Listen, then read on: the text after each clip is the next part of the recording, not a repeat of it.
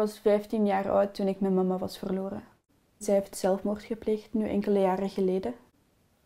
Ik was zeven jaar toen mijn mama is gestorven. Ik ben mijn mama verloren uh, denk bijna 13 jaar geleden aan uh, kanker. Ik was 15 jaar oud als mijn vader is overleden. Ik ben mijn papa verloren uh, een paar jaar geleden, bijna zes jaar geleden denk ik, aan zelfmoord. Ik weet pas sinds ik 16 ben dat ze euthanasie gepleegd heeft. Mijn familie heeft daar bewust voor gekozen om dat niet aan mijn zussen en ik te zeggen tot een leeftijd dat wij klaar waren om dat aan te horen. Omdat wij, ja, ik was zeven jaar als mijn mama stierf. Als je dan moet horen, ze heeft dat zelf gekozen, zeg maar.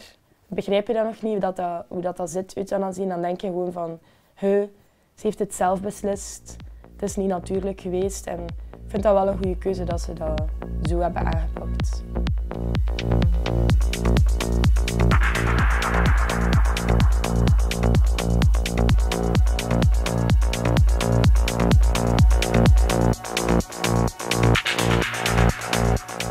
denk dat ik aan de mensen had willen laten zien hoe een sterke vrouw dat mijn mama was. En hoe oprecht en hoe knap van binnen dat die ook was. Want ja, dat was een super knappe vrouw, mijn mama, langs de buitenkant. Maar langs binnen was zij ook zo een toffe en knappe vrouw.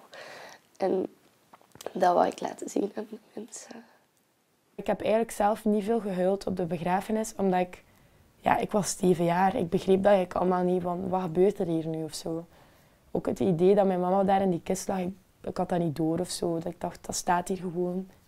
Mijn zus en ik babbelen daar nog veel over, dat wij, dat, dat we dikwijls op zo'n moment in de lach schieten. Wij waren denk ik de enige twee die aan het lachen waren in heel die zaal. Maar ja, niemand nam het ons kwalijk, want we waren ook redelijk jong. Dus...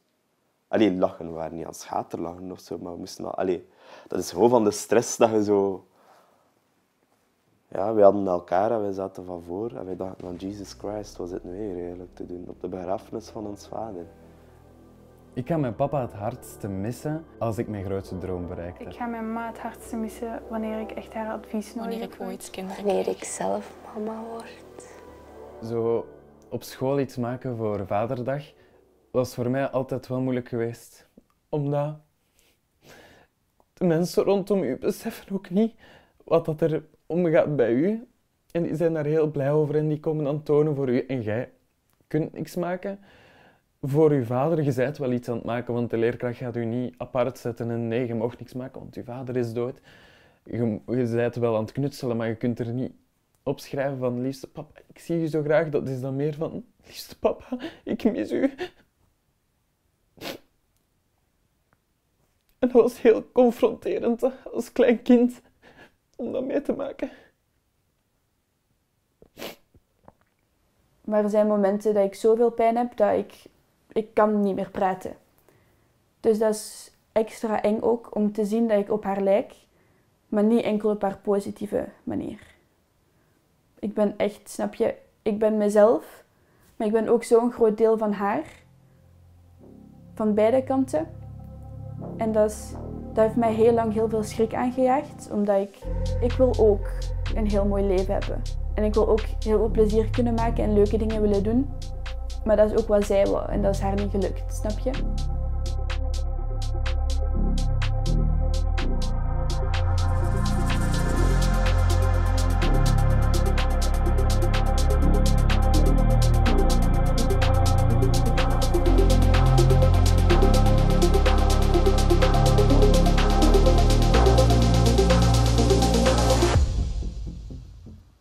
Was 14 maanden toen mijn papa overleden is. Ik was 21 jaar toen mijn papa overleden is. Ik was 16 jaar toen ik mijn papa ben verloren. Ja, ik kan hem wel trots maken, zeg maar. Maar gewoon het feit dat ik het niet fysiek kan delen met hem en niet met hem daarover kan praten en zo, vind ik heel lastig. Omdat, omdat ik het gevoel heb dat mijn papa, zo, ook moest hij het ziekte, die ziekte niet gehad hebben, dat dat echt mijn beste vriend zou geweest zijn. Soms ja, denk ik daar wel over van, fuck, nu mis ik dat wel. Zo dat vaderfiguur en daarover een keer kunnen praten, ook als je opgroeit. Ik, ja, ik ben man alleen in een vrouwenhuishouden, dus ja, je wilt daarover kunnen praten. Maar ja, je zit, ja, daarin, ja, dat gaat niet. Dus soms mis je dat wel gewoon om zo iemand om mee te praten en over de toekomst van ja, hoe moet ik dat aanpakken en ja, ik kan er wel met mijn mama over praten, maar dat is natuurlijk anders, snap je? Zo dat vaderfiguur is daar niet om u zo daarin te begeleiden. Ik heb mijzelf moeten leren scheren bijvoorbeeld, of al ja, die dingen, zo, die mannendingen kun je niet meer als voorbeeld hebben van uw vader.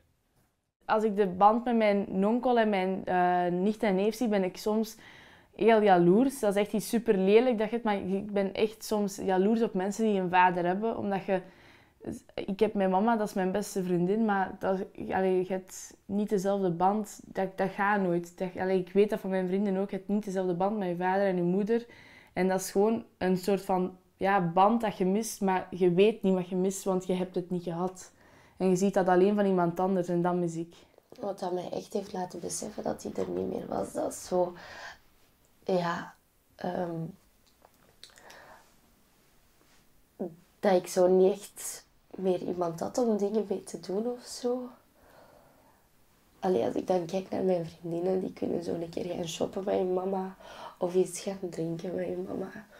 En ik kan dat niet meer.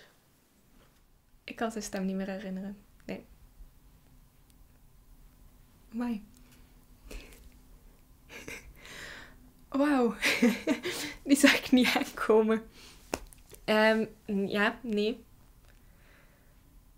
ik had er altijd heel veel schrik voor dat ik niet meer ging weten hoe dat hij eruit zag, of hoe dat hij klonk, of hoe dat hij bewoog. Of ik weet nog, ik weet de klank niet meer, maar ik weet wel nog dat um, hij van die pantoffels had die heel hard op deze vloer weer klonken. En ik heb dat geluid nog lang gehoord daarna, maar inderdaad, ik had heel veel schrik dat ik hem niet meer ging kunnen herinneren. En dat is heel erg, maar inderdaad, ik, herinner hem als persoon, als ziende voor mij niet meer.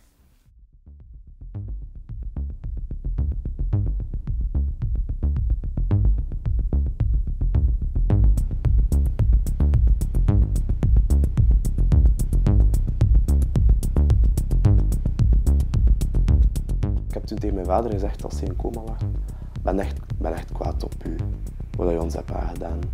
Ik ga je dat nooit vergeven, heb ik gezegd. En achteraf heb ik daar... Ik heb daar een moment spijt van gehad, maar niet lang. Ik had daar wel zo wat op mijn eigen manier vrede meegenomen en dat, en dat goed gemaakt, dat ik dat gezegd had. Ik geloof niet per se dat ik haar, dat ik haar ooit zal terugzien, misschien. Maar ik vind dan bijvoorbeeld soms droom ik over haar en dan kan ik er echt in de ochtend blij om zijn dat ik zo het gevoel heb dat ik haar nog eens heb gezien of zo, terwijl dat gewoon een droom is. In de toekomst hoop ik dat ik hem nog altijd heel goed en heel levendig ga houden. Ook met zo'n verhaal kan afkomen naar mijn kinderen, zoals hij had gedaan toen als En dat ik nog superveel tijd met mijn familie kan doorbrengen. Dat hoop ik het hardst. Het allerbelangrijkste dat ik graag zou willen weten is, zie jij mij? Want ik zie jou wel, overal waar ik ga. Er zijn heel veel dingen dat ik zou willen vragen van, hoe voel je je nu? Ben je nu oké? Waar dat je bent, dat maakt niet se uit. Want ik denk dat het sowieso beter is dan hier te zijn. Maar zie jij mij daar? Of, of ben jij gewoon helemaal alleen? Ik heb zeker het nu, alleen het nieuwe nu, dat de dingen zijn, zeker kunnen accepteren. Je moet het nu nemen zoals dat nu is. Veel accepteren zit daar niet in. Je kunt bijna niks anders dan accepteren. Je kunt niet teruggaan en je kunt ook niet vooruit. Ik denk vooral dat ik wil meegeven aan mensen die ook iemand verloren zijn, op welke leeftijd dan ook of, of op welke manier dan ook. Vooral gewoon super positief zijn over die persoon en gewoon blij zijn dat je die ook al, als het misschien kort, in je leven hebt gehad, toch even en zo ja, zo'n persoon hebt gekend.